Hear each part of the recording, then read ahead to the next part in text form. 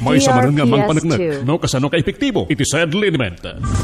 Ah, napintas daytoy na usaron. Oray yapan mo ti likod mo, oray san tibagi na, napintas daytoy. Eh. Tibagin, di malakas tibagin. Agpaiso nga daytoy nga talaga. DRPS2. Ah, subok ko daytoy. Eh. Ah, itry nyo daytoy nga product, napintas. Fluoroprias, taga ditoy, eh. Bagyo, Irisan. I'm 54 years old. Said liniment oil, aramid ti said marketing.